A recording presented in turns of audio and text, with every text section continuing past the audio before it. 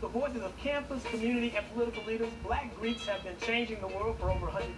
Join me as we explore the world of entertainment, politics, community, and more, and the various ways Black Greeks will impact the world for 100 million.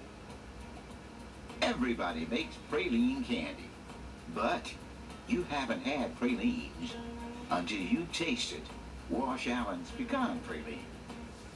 Wash Allen's pecan praline candy, the best pralines ever made. From Gussie's Kitchen, made with natural ingredients. You haven't had pralines until you tasted Wash Allen's pecan praline. Hello, I'm Dr. Margaret Ford Fisher, host of Learning for Ownership. What great power is packed in those two words. I hope you will join me on mjwjtalkradio.com when we discuss learning for ownership principles and how they apply to every facet of life.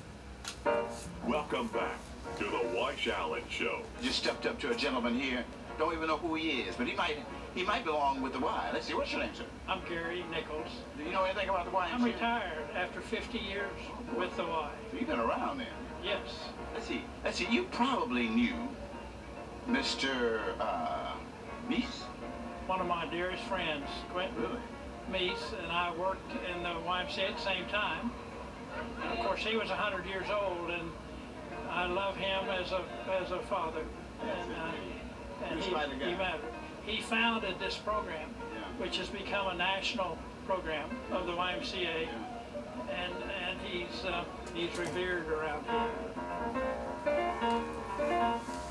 Here I have with me uh, one of the top philanthropists and public servants of our city of Houston, the man in the name of Dr. John Stanford Jr. All right. So, Doc, here we are at the YMCA. What do you think? I, I think this event is uh, very uh, great. It's uh, recognizing people for their achievement, uh, especially young people.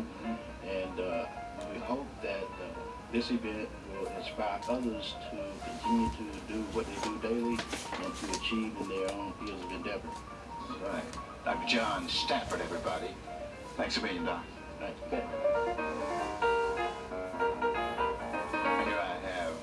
special guests here. And of course, I, I love talking with her because people always ask about uh, Karen Carter Richards. They always say, is that Donald Carter's daughter? And uh, I'm going to ask her now, are you? Yes, I am. I figured that, see?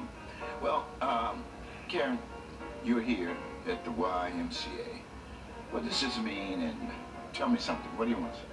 Oh, Wash, we're glad to be out here tonight. Forward Time is here to help celebrate the young achievers, and we're just glad to be in the house to cover them and give them the recognition that they're due.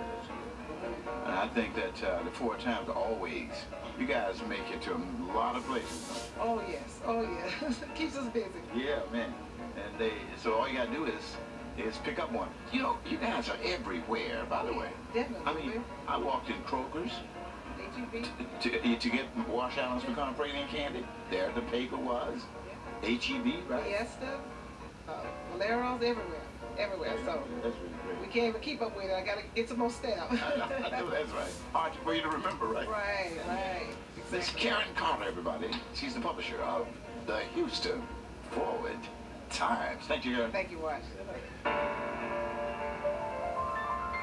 Here we are, and I'm talking with the one and only Mr. Jeffrey L. Boney. So here we are at the YMCA, and uh, I know that you. Are you familiar with the YMCA? Oh, very familiar. When I was growing up, when I was little, I used to always go to the South Central YMCA in the Third Ward, right by Texas Southern and Yates High School, and you know that's where I first learned how to swim. Really? Absolutely. They they actually threw us in the water and told us to figure it out. But no, I mean I'm very appreciative of the YMCA and it's done a lot in the community. Still a member of the YMCA, actually. Uh, me and my family. What is your name, sir? Uh, Carlos Jackson. Dr. Lawson Howard. Hello, I'm Lakeitha Green. Bernicia Edwards. Bernice Dickey. And my name is Will Cooper. Maya Carroll. My name is Sade Campbell. My name is Marie Brown. My name is Andrea Berry. Josetta Baldwin. Heather Brown. Glenice Brumfield. Paul Cannings. Jamaica Coben. Gregory Daniels. Shakina Duran. Mark Falls. Bernita Harris. Nicole Johnson. Hi, I'm Addie Johnson. Christy Johnson. I'm Lola Lisa. Lola Lisa King. Uh, my name is Lamont Perkins. Vanessa Reed. Kim Roxy. Tiffany Sims. Melody Williams.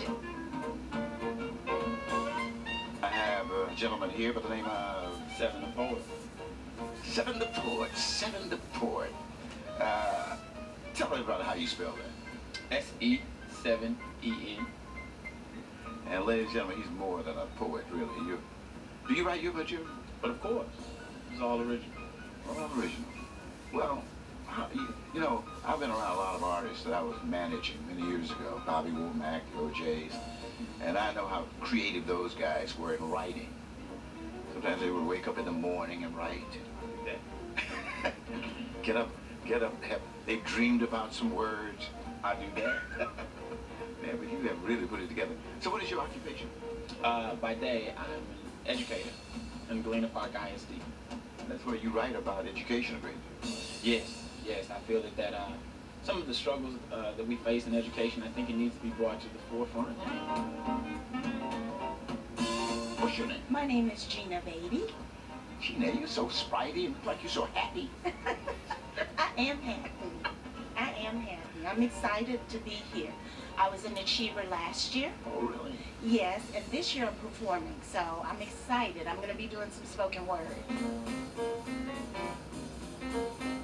And I'm talking to? Cheryl Coleman.